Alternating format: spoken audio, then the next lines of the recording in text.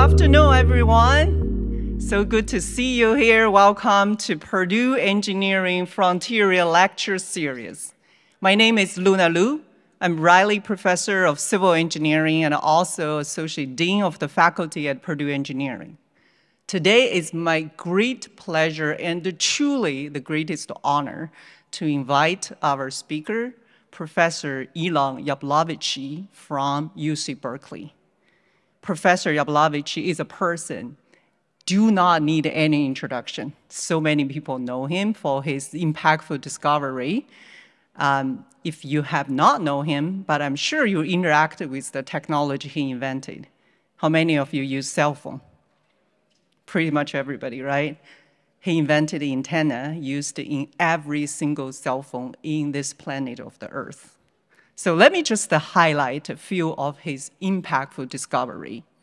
Professor Yablonovitch introduced the idea of strained semiconductor laser that has better performance due to the reduced valence band or hole effective mass with almost every human interaction with the internet that enabled optical telecommunication occurred by the strained semiconductor laser invented by Professor Yablonovitch.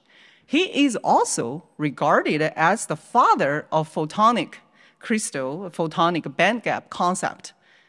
If you're in the physics or electrical engineering, I'm sure you heard of the term photonic crystal, that actually invented by Professor Yablonovitch as well.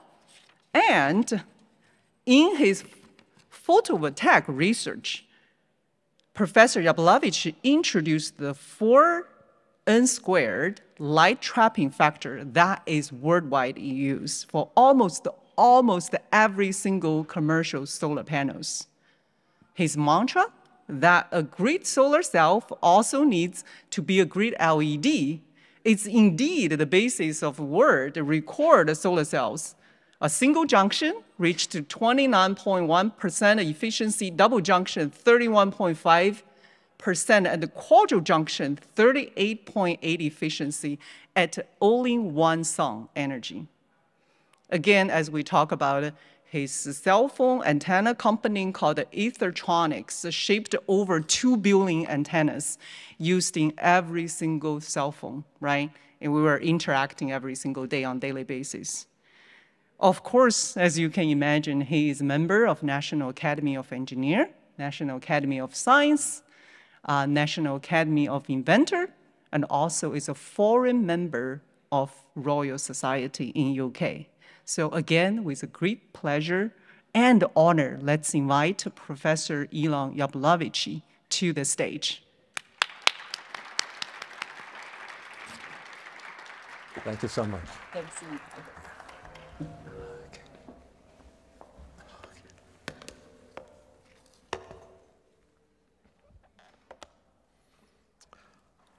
Okay, it's uh, great to see uh, the uh, large group here. Thank you very much for that uh, terrific introduction. Uh, I'm going to talk about something that uh, it's a little bit technological and maybe a little bit has to do with politics and society.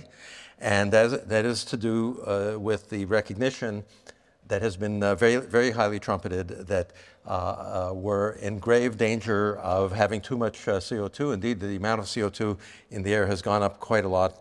And uh, so we're entering uh, sort of a, an unknown uh, region, and we need to have a way to solve it.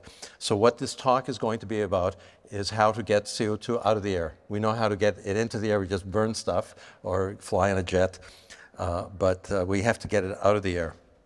And uh, now, some people want to completely eliminate the use of hydrocarbons. I think this is going to be very difficult. for example, if you want to go to another continent, uh, there's no real substitute for jet fuel. Jet fuel is, has uh, the highest energy density, is very important for staying uh, in, in the air for a long period of time. And uh, uh, I can give you a rule of thumb. If you're going to another continent, the jet will use double your personal weight in fuel. Okay, so so a very long trip, you have to, you have to and then the the energy to mass ratio is very important for the fuel, and there's, there's no substitute for hydrocarbons. Uh, we also have a problem with winter, summer energy storage, is that we don't have very good ways of storing energy, except if you store it as, as, as uh, hydrocarbons, then it, it works very well. And uh, then we have another problem, is that there are some countries that, let's say we were uh, in a world where we were uh, greatly reducing the amount of use of hydrocarbon fuels, uh, what do you do about the countries that don't cooperate? Okay, and it's not something that you'd want to start a war over. So you'd have to, you'd have to pull out the, their carbon dioxide too. So there, there's always going to be some carbon dioxide going into the air. And unless we extract it, we're going to be stuck.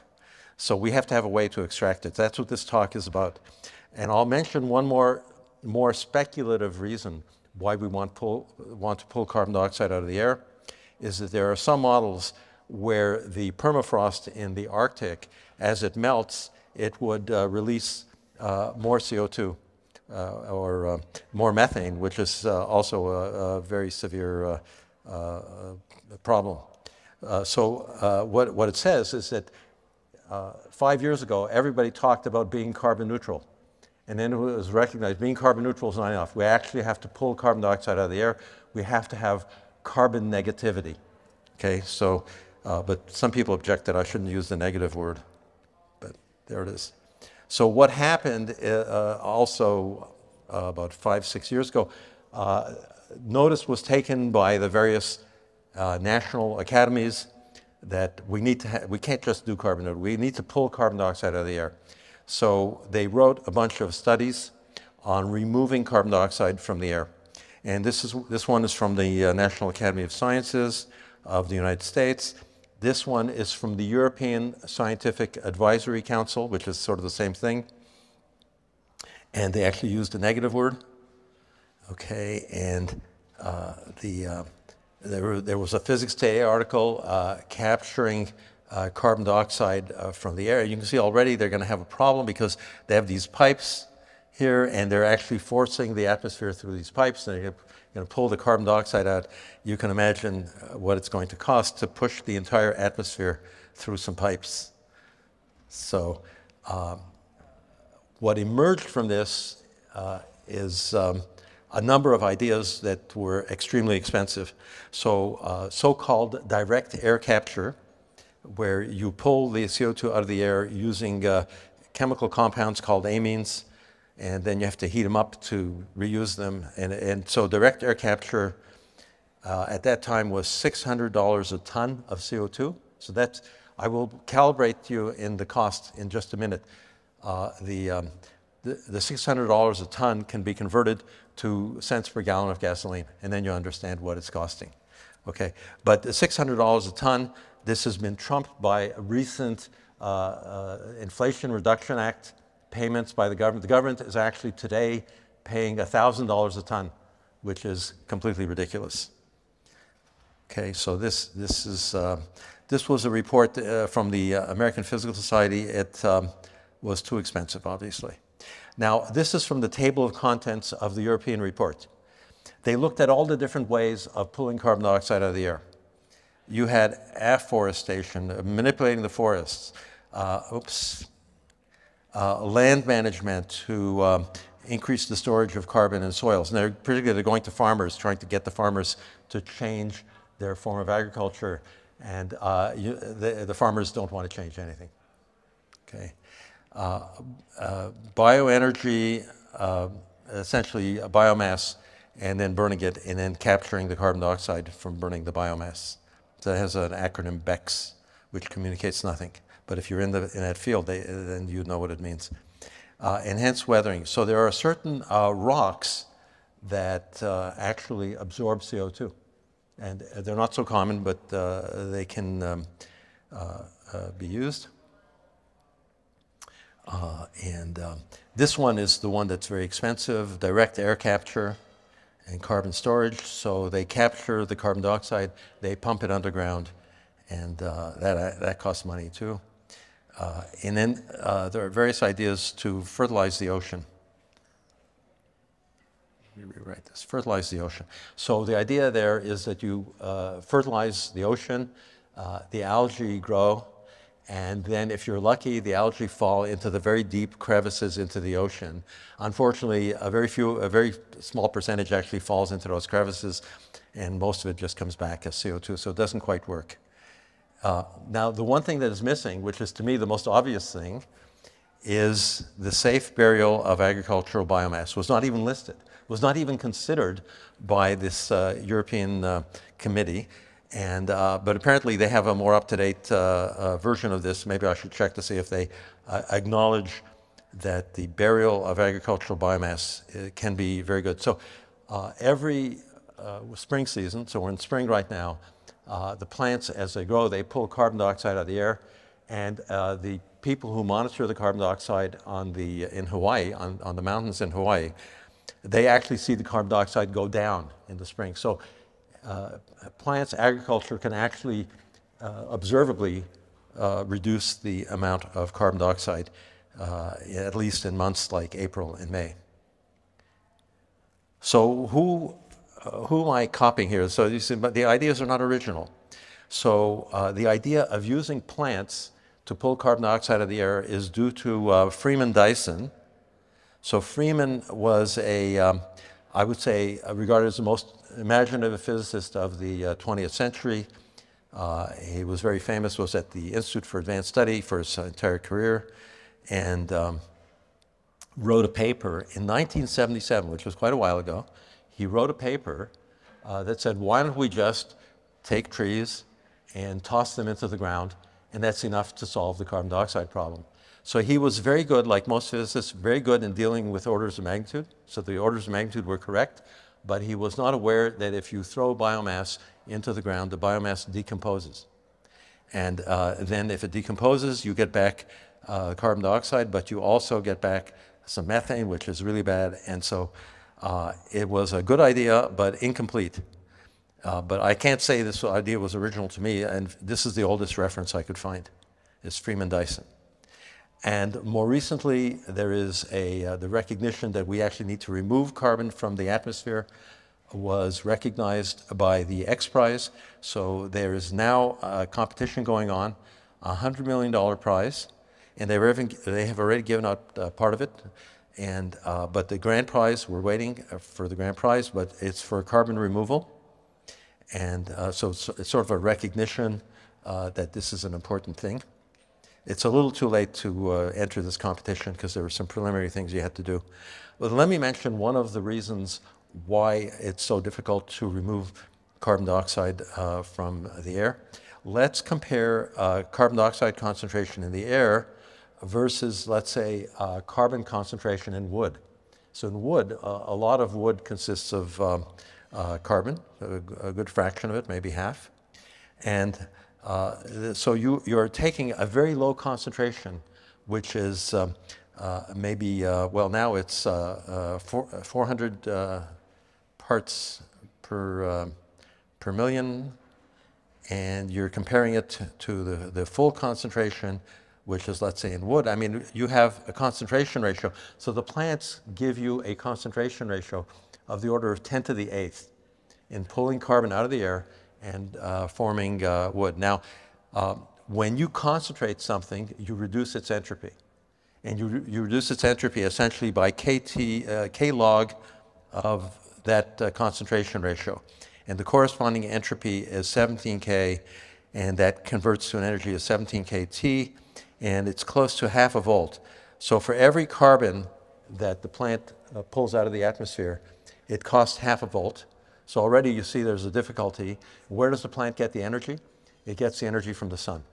It, it, it's, it's doing some work uh, that way. So the plants provide the free energy, and, but it's one of the reasons why it's difficult to do. You have to actually supply energy to concentrate uh, carbon.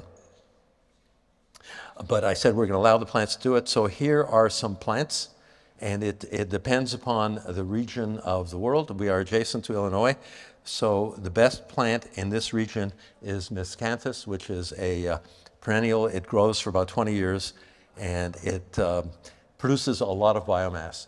And much of what I'm saying uh, about the uh, biomass was worked out for me. I didn't have to do any extra effort because about 20 years ago, uh, the uh, energy world uh, sort of went crazy about biofuel. So they worked all this stuff out, is where to get the uh, biomass and uh, how much it's going to cost and so forth. And they, in Florida, it's a different plant. It's Napier grass. In, in England, which is quite far north, they, even there they had a candidate. And in Mexico, they have a, a different candidate. I'm circling the man. I should be circling the plant, right? Uh, so the, the, agriculture is known on how to do this, and they're, they're very efficient. These, uh, these uh, plants are very efficient. Uh, for example, around here, corn is grown. Corn is quite efficient, but uh, these are even more efficient. They're approximately three times more efficient at converting sunlight into cellulose. so the cellulose is about 40% by weight carbon, and your uh, you can extract uh, uh, many tons of carbon from each acre. So this is all worked out, and every country publishes the agricultural statistics, the productivity of the land, the particular crop, uh, and you can look up on the Chicago Board of Trade what the crop is, uh, uh, is costing. So you, you, you know everything you need to know. And it would take quite a large area of land, nonetheless, to remove all of the carbon from the air but large, but not ridiculous. It's, it's, it would be a major agricultural product. So I have to introduce, uh, I've already introduced Freeman Dyson. Let me introduce Al Rose. When I was young, he was my mentor, and I was working on solar cells. So I got into this through solar cells. And he said, the young whippersnapper, you think you're so smart with those solar cells. Do you realize you're going to have to compete with plants? You're going to have to compete with agriculture. And he challenges me in the following way he uh, says, why don't you find out the uh, uh, productivity of corn, he, he, was specific to corn, and uh, figure out what it costs on the Chicago Board of Trade, how much the yield is per acre, this is all known things, and figure out how, many, how much energy you get per acre. So he wanted to know the cost of corn, not in bushels, but in dollars per megajoule, you can convert, uh, dollars per megajoule and compare it to gasoline in dollars per megajoule. Now, in case you want to do such a conversion, there are about 160 megajoules in a gallon of gasoline. So you can, you can do the conversion, that part of the conversion yourself. So I went and did the conversion, and he was teasing me. I didn't realize he was teasing me because he had just published this. He had published this in, the, in this article when he asked me this little riddle, and, it, and uh, the answer was kind of shocking is that the cost of gasoline, it was actually during one of these uh, uh, high cost periods of gasoline, the cost of gasoline in, megajoule, in dollars per megajoule was similar to the cost of corn in dollars per megajoule, which, is, which was kind of amazing. So it, it, I, it gave me the idea, oh my, the solar cells will have to compete with corn. And I think that will happen one day. Not with corn, but with other crops. And so what do you do about uh, Freeman Dyson? He already said bury the biomass. Okay, and so I have here uh, an example of burying the biomass. Now you have to bury the biomass in a specific way, and I'm going to tell you the punchline right now. How do you prevent biomass from decomposing when you bury it? And the answer is you dry it. Well, every farmer cannot sell his crop until he dries it. So you dry it, and uh, you, uh, but then you have to keep it dry. How long do you have to keep it dry? Well, uh, you could easily keep it dry for thousands of years, and this would satisfy any environmentalist if you can get the carbon dioxide out of the air for thousands of years. What does it take to do that? When you dry it, you seal it up with four millimeters of polyethylene. So this is, uh, this is the key, uh, four, four millimeters of polyethylene. That stuff does not look like a shopping bag, polyethylene shopping bag. That stuff is very, is like semi-rigid, very, very strong, uh, yet uh, somewhat flexible. And uh, you say, well, that's a crazy idea. Who's ever going to do that? So that's already being done. So for example, if you had breakfast this morning, uh, you generate, a, let's say, a yogurt cup or some other garbage, and in the most modern landfills, it gets sent to one of these landfills, and it's sealed off with uh, polyethylene. And the, uh, why is this a requirement? The reason is that the authorities don't want the garbage to contaminate the water table. Okay? We are in exactly the opposite situation. We don't want the water table to make our biomass wet. Okay? And, and, and so it's pretty much for the same reason. And one of the things that's extremely well known is how fast water diffuses through polyethylene. And yes, a four millimeter thickness will keep water out for thousands of years. So it's, it's somewhat surprising. So we published this in last April. So it's now April again. So we published it a year ago, and um, uh, I, I, can tell you some of the things. So I, I, I, had a lot of interesting reactions to this paper, but I'll, I'll mention one thing that uh, uh, gets people upset a little bit. Is that when we bury the biomass, the biomass is essentially cellulose. You see that the uh, that the uh, carbon is already partially oxidized, okay, because it's, this is the approximate chemical formula for cellulose. Uh, and so you already have one oxygen in there. Now, suppose, as I mentioned, 15, 20 years ago, biofuel was all the rage, and you're starting with the same thing, with cellulose, but it's already half oxidized because it's already got one oxygen on it. So in order to uh, make biofuel, you have to grow two acres of uh, biomass in order effectively to get one acre of uh, biofuel. So inherently, uh, that it's, it's, going to be a large-scale agricultural enterprise. It would be twice as big if we uh, made biofuel. If, on the other hand, we simply bury the cellulose, the you get credit for one acre, and you've put the full amount of carbon into, uh, into sequestration. So, uh, of course, the biofuel people don't like when I say that, but that's, that's the way it is. Okay, now, but if you simply bury it, uh, it gets eaten. Uh, you can see here uh, various insects uh, will eat uh, the biomass. If you seal it off against oxygen, doesn't matter because there are anaerobic bacteria. And forget about simple burial. it all turns into carbon dioxide and methane. Uh, and uh, so it, the simple burial will not work. And what we're saying is, well, this is yet another slide telling you that simple burial will not work. Well, it sort of works a little bit. And in the following sense, uh, that if you take uh, uh, wood, uh, it very famously, it mostly consists of cellulose, but it also contains lignin. Now, lignin is a compound that is responsible for the grain in wood. So you have wood, you see the beautiful grains, because there is lignin in the wood. Uh, the lignin turns out to be extremely durable stuff. So it was a tremendous headache when they were making biofuel. They couldn't figure out how to process the lignin because it, it, it lasts a very long time. So you will get some credit. If you simply bury the wood, you'll get 30% credit because the lignin will not decompose uh, very rapidly.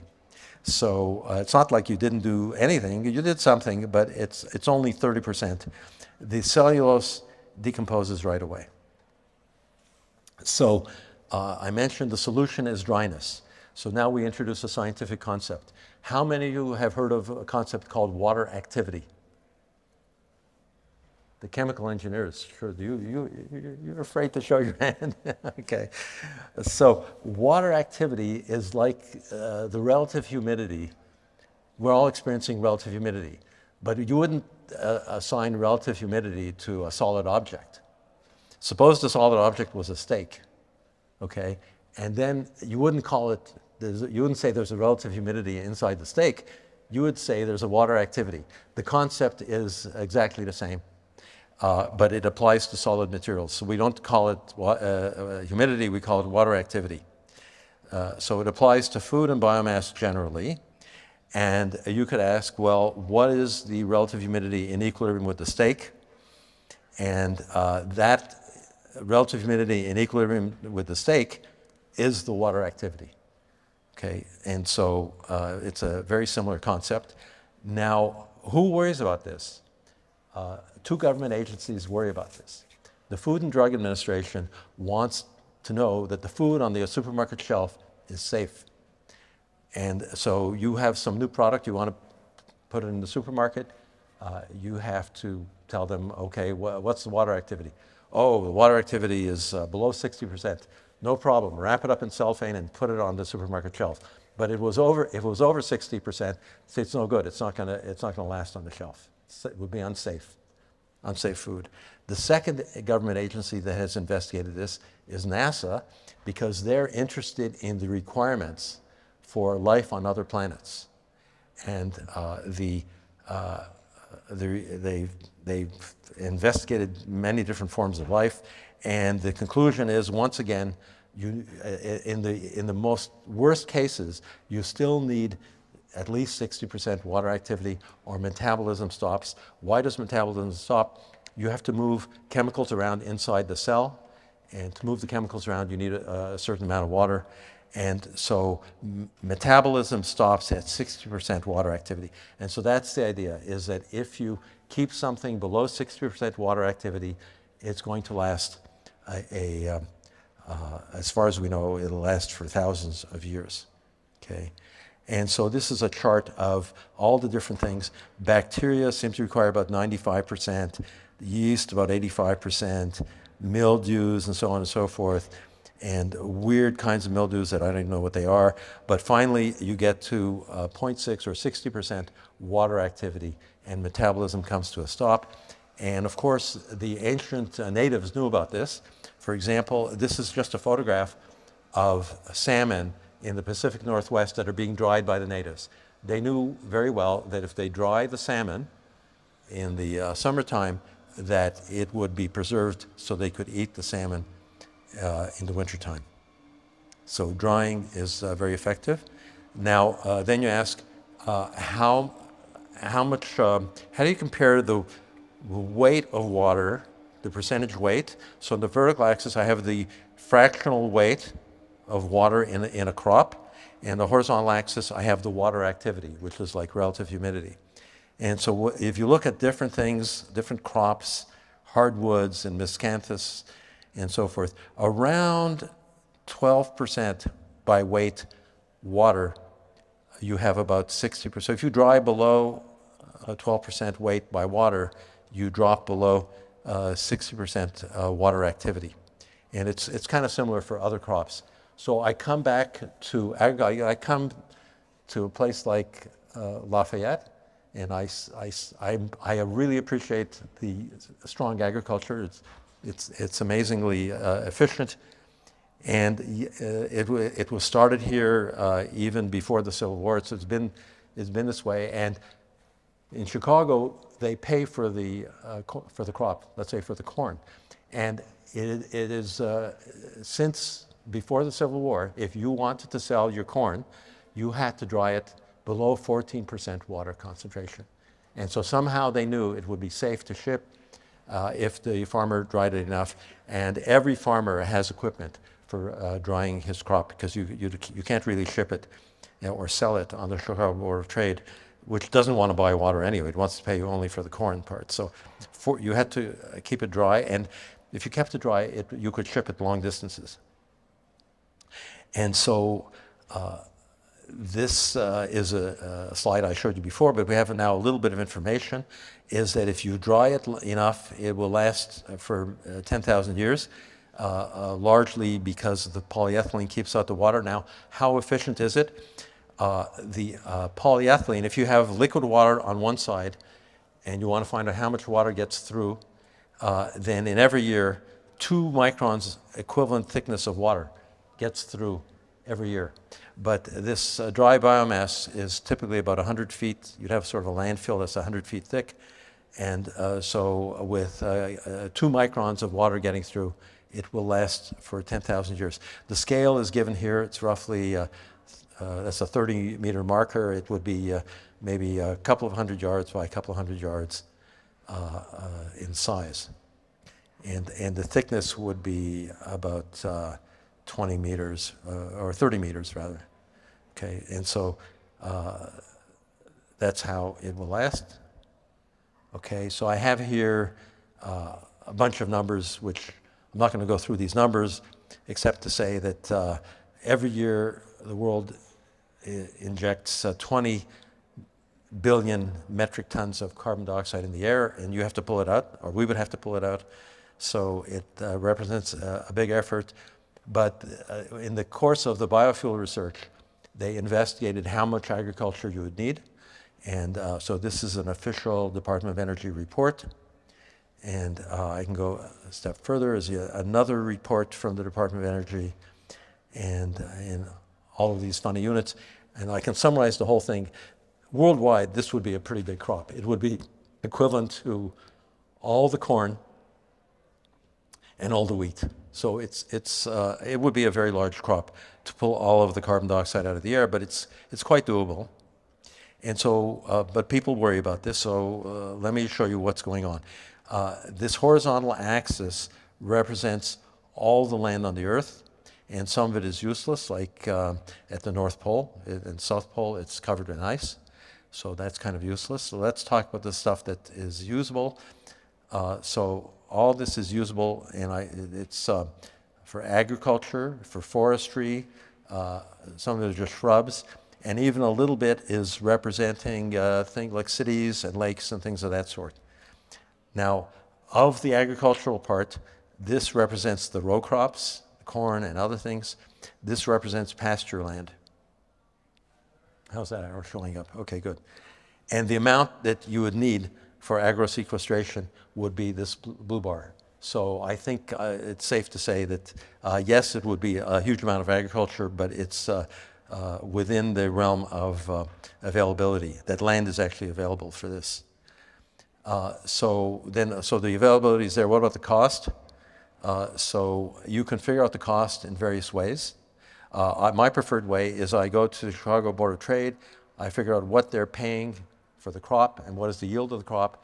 I, I can figure out how much uh, money the farmers are getting per acre, and um, uh, then I can, uh, well, I'll make the claim that growing a non-food crop is, if anything, easier than growing a food crop because the food crops you're competing with insects, and the non-food crop you're not necessarily competing with insects, so it's a little bit easier to to grow. And but I'll take those costs and uh, uh, we've done it both ways. We did a bottoms-up analysis of what the farmers are, uh, all their costs, including the renting of the land, which is the biggest part of the cost. And, uh, and I, I, flipped it around and figured out what the farmers were being paid to the Chicago Board of Trade. And we got similar results. So approximately $30 a ton of CO2 equivalent uh, for the agricultural part. Miscanthus is slightly better than some of the others. And then you have to build the environmental chamber. How do we know the cost of the environmental chamber? Because there are contractors who build exactly these types of landfills today. And you can go to those contractors and say, how much does it cost to build a landfill of this size? And so it came out to be uh, also similarly about $30 a ton. And the other crops are a little bit worse. Switchgrass, not quite as good. Loblolly pine trees, also not quite as good, but loblolly pine trees are very, uh, uh, very effectively grown in the southeast United States. So you do, you do find that uh, uh there is actually a lot of biofuel uh, from the southeast.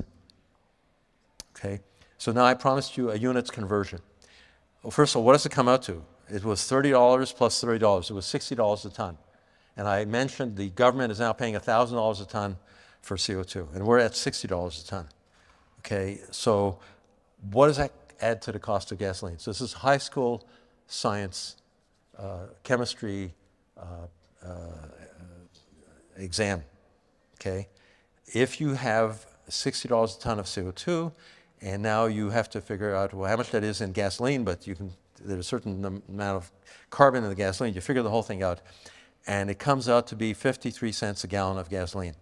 So what this says is that we could solve the CO2 crisis if people were willing to pay 53 cents a gallon extra for the gasoline. Now in California, if I was giving this talk in California, people would laugh. The price of gasoline goes up and down by uh, a couple of, well, a dollar, at least a dollar in either direction uh, all the time. The regulations change. The because of the regulations, gasoline is, more, is a lot more expensive there than it is here. And uh, so there's the cost. And the amount of CO2 we have to pull out is 2 billion tons a year. And uh, then we can figure out what is this going to cost the world economy. So uh, uh you, you convert the $60 a ton, you can convert that, and it ends up being uh, $1.2 trillion a year, which sounds terrible, okay? But the world economy is $100 trillion a year. And so it would set back the world economy by 1.2%. Uh, okay, I'm, and I'm not saying this is good, but it's not bad. And it's not a disaster. And uh, I really started this project because one of my uh, good friends uh, was very worried about his grandchildren and says, well, are you, are you going to pay a little extra? You know, like maybe set back the economy by 1.2%. Well, the world economy improves by roughly 2% a year due to productivity. So one year the productivity might be a little less. And then, and then you'd carry on from that. So it, I, I, it's quite reasonable. But then, oh yeah, I got to tell you what happened. So then we send the paper off to be published. And uh, the referee comes back, one of the referees comes back and says, uh, you need to find an example in nature where something was kept dry for uh, thousands of years and it did not decompose. Okay, so we actually knew an example, but we didn't include it in the paper, but we uh, changed the paper. So the example comes from Israel, uh, a very famous mesa uh, adjacent to the Dead Sea. Well, it used to be adjacent to the Dead Sea. The Dead Sea has gone down a little bit back here. Um, it was famous as the last holdout against the Romans. However, before the Romans came, there was a king, uh, King Herod, who appears in the Bible. And King, king Herod, uh, well, like all kings, he's afraid of being overthrown. So he built a castle, and th this is the castle that he built. Okay, and it's a very remote location, very hostile environment, and was abandoned for 2,000 years. And then in 1965, a, an archaeologist went and excavated uh, King Herod's uh, palace or castle, and he found a lot of things, and he wrote a lot of papers that archaeologists read. Okay, but one of the things he found was some seeds for the date palm tree. And these seeds are sort of the size of pecans. And so the story sort of uh, I, is told in pictures. Here's a, a likeness of King Herod, some carving from 2,000 years ago. This is the archaeologist, mid 1960s. He digs it up he finds lots of treasures. One of the treasures are the seeds, but he doesn't know what to do with them. Okay? And then this woman, who is a medical doctor at a hospital in Jerusalem, but she was sort of a creative person, she heard about this and she sweet talks the archaeologists into releasing some seeds to her. And then she sweet talks some carbon dating people into carbon dating the seeds and the seeds are indeed 2,000 years old. Okay? And then she persuades uh, this woman, who is a horticulturalist, I have these seeds, can you check to see if they germinate? And they indeed germinated and started with a little tiny plant and grew to a bigger plant and had to change pots and then ends up as a tree 18 years later. This 18 year old tree uh, it is uh, somewhat protected by this uh, wrought iron fence because it is a historical and scientific uh, relic. It was a tree that's 18 years old but germinated from a seed that was kept in relatively dry conditions for uh, 2,000 years and the DNA was preserved, and uh, for certain, if the DNA is preserved, the cellulose is preserved. So it's uh, kind of famous, and we put this as figure five of our paper, and the referee accepted it. And uh, so uh, that part is known. I have to share with you a few more facts about agriculture uh, that are worth uh, noting, and that is that there is a Moore's Law for agriculture.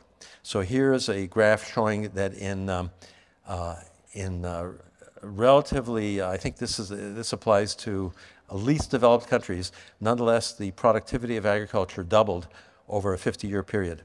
So, this is the Moore's Law for agriculture. And it doesn't just apply to underdeveloped countries, it applies to other countries. For example, I found data uh, for the productivity uh, of wheat in England and dating back to the 1700s, but I start the graph at 1800, which is around the time that Malthus told us that the Industrial Revolution was useless because we wouldn't have enough uh, food to feed everybody.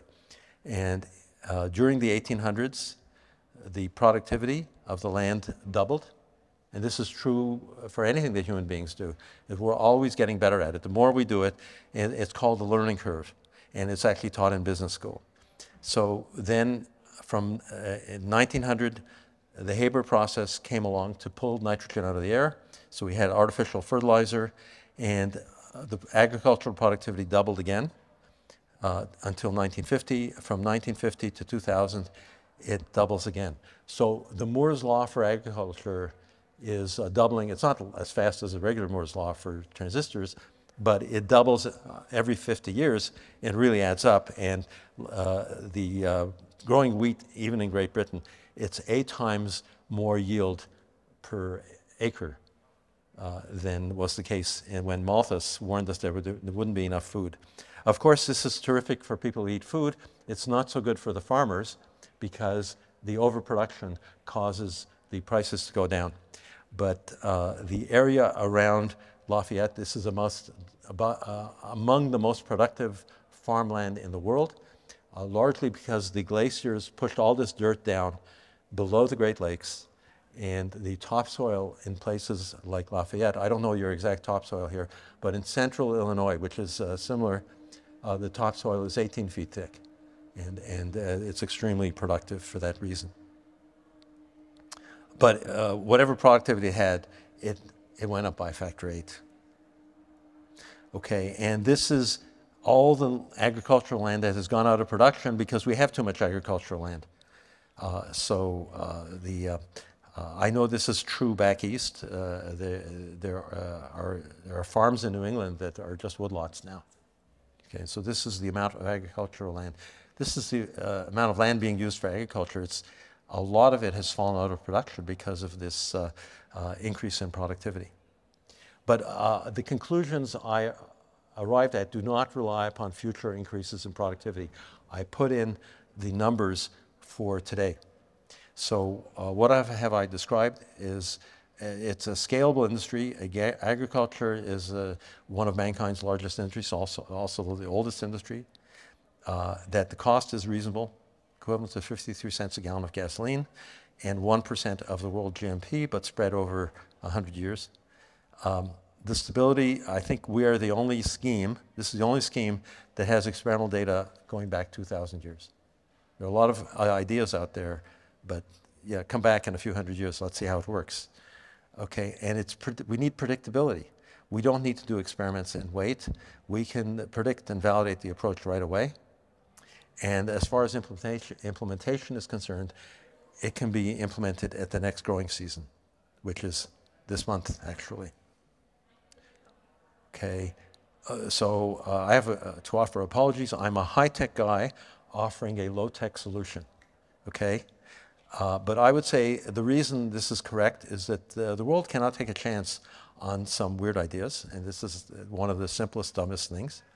Uh, and uh, we can't try to predict what things, what will happen hundreds of years from now. So uh, this has been proven for 2,000 years. Now, with regard to the land, especially in Europe, they're very concerned about converting agricultural land for uh, biofuel uses. And it's actually illegal in Europe to do this. However, in the United States, uh, we've already made that decision. So, for example, 40% of US corn is already going into ethanol, into biofuel. And can you imagine a state the size of Iowa, which is a very large state, and take 40% of that state, and that's already being used for biofuel. And of course, the ethanol is extremely inefficient. They could be growing miscanthus and, uh, and, uh, and probably should be.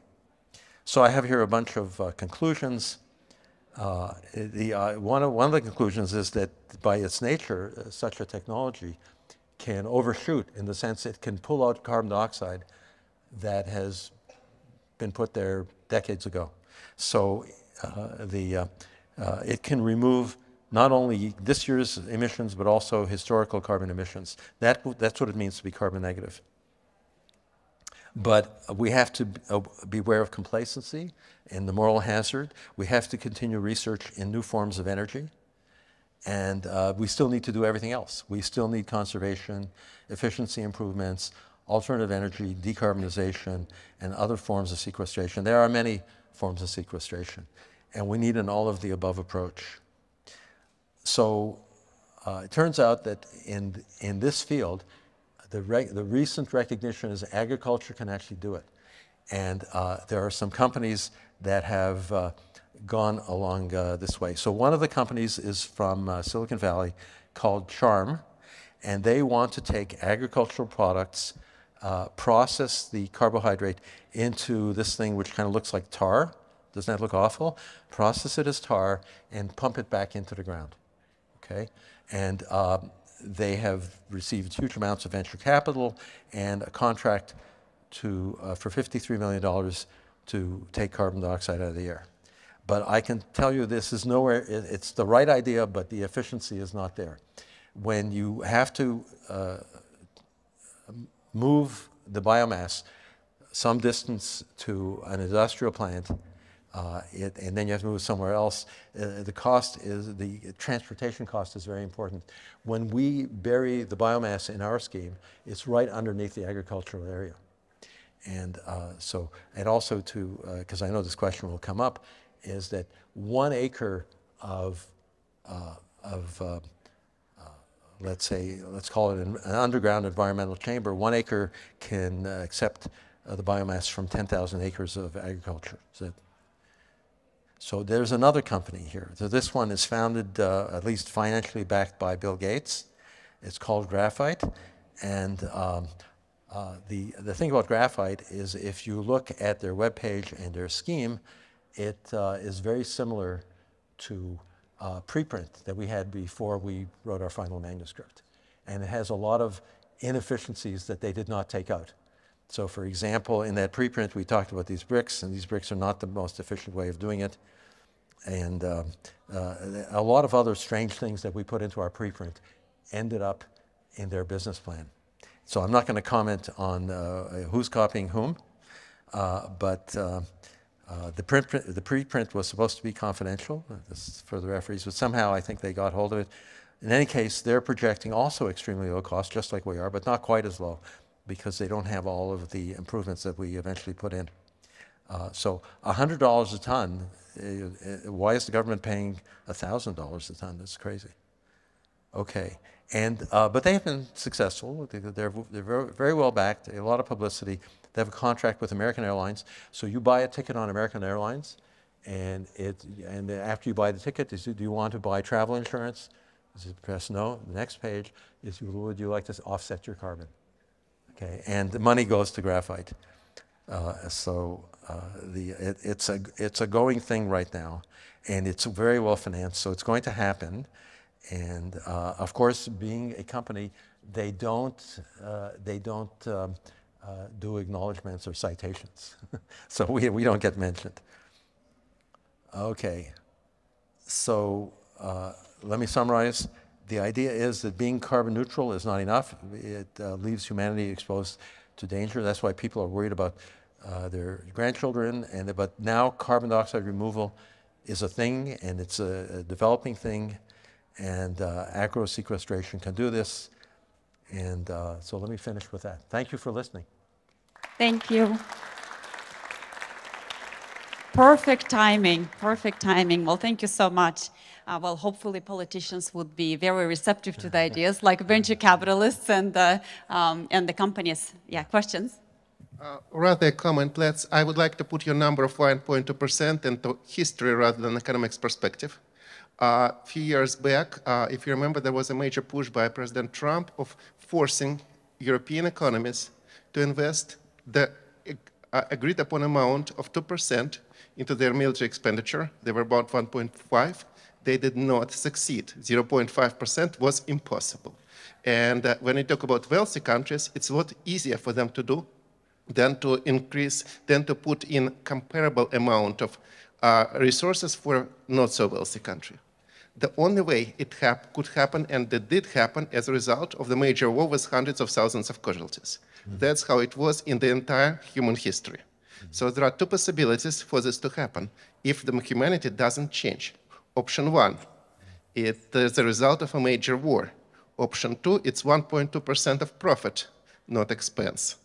Right. Or option three, humanity doesn't somehow changes momentarily. Uh, historically, there was not a situation, uh, I am not aware of single violation of that rule. Okay. 1.2% is impossibility according to the previous history. Well, uh, let me uh, make a comment on that. Uh, it's very difficult to get every country to agree because it does cost money. Uh, however, if you get three countries to agree, uh, uh then uh, they're big enough countries. So the three countries are the United States, China, and Brazil. They have enough agricultural potential they, they could do this. And of course, other countries, they they'll want some of the money too, so they'll probably do some of this as well. And so I'm a little bit more optimistic about carbon sequestration, but with you, I'm less optimistic about world peace. um, I like this idea of drying plants and store on. Can you hear me? Yes. Drying plants and store them on the ground with a polyethylene shell so they won't go bad. Uh, but how about turning them into alcohol, which can also last a long time without eh, going Did bad? you say alcohol? Yeah. Uh, alcohol. So we already have that. Uh, that's the uh, gasohol. Uh, it's extremely inefficient. Uh, it produces a lot of emissions. just about everybody agrees that uh, gasohol is, is not a good idea. But I don't quite see how you would store such large amounts, where it's much easier to see how you would just store the biomass. You don't have to process it. yeah. and drink it.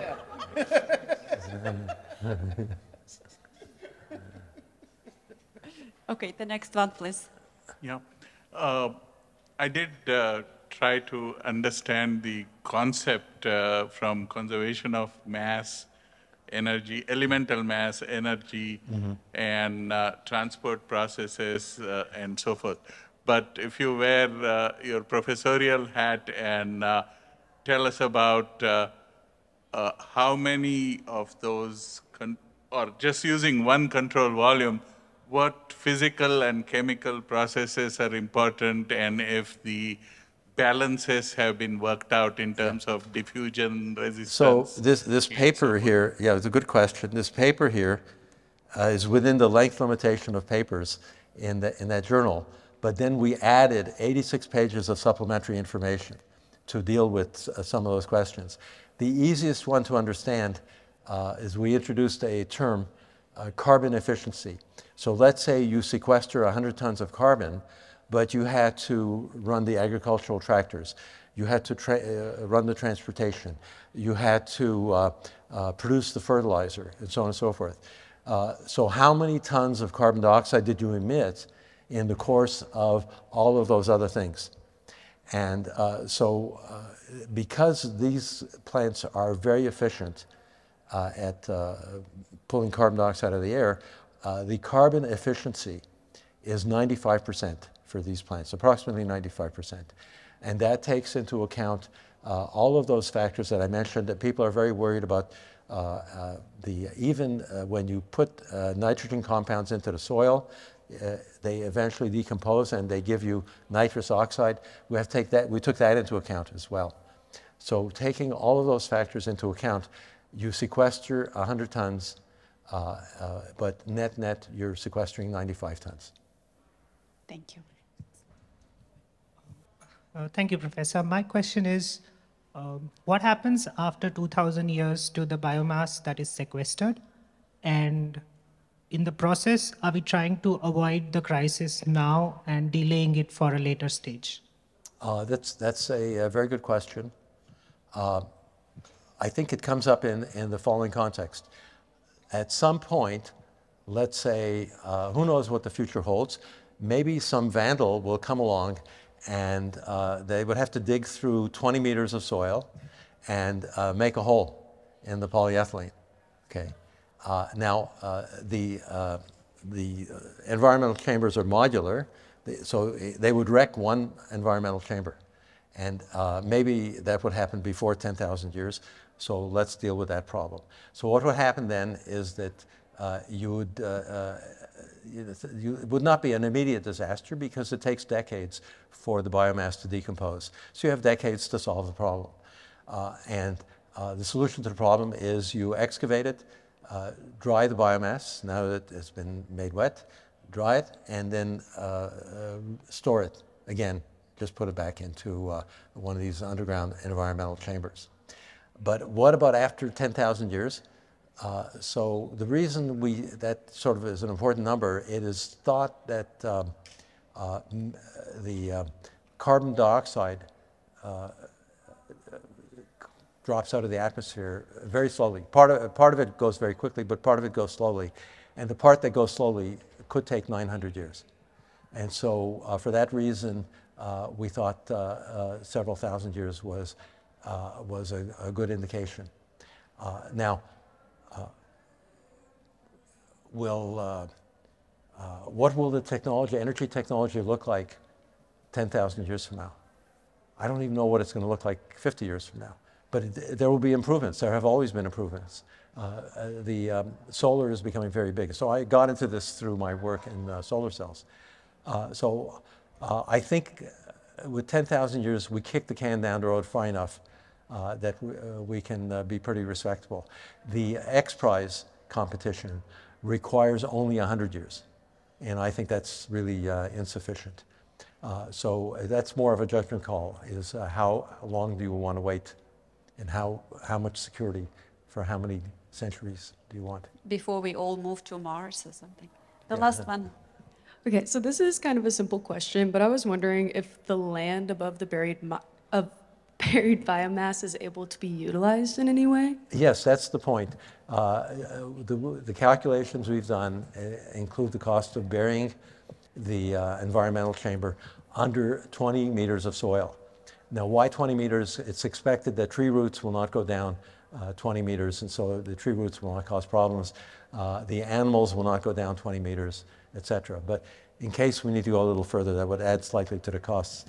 But absolutely, the land on top becomes agricultural land.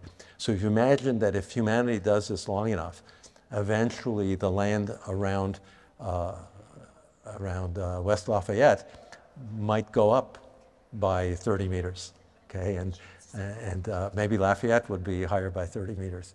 Uh, so uh, the, uh, uh, that is a, a, very important question, and people are very concerned about that. You, get, you retain your farmland. Well, um, with that, I guess uh, let's thank our fantastic speaker one more time today. Thank you so much.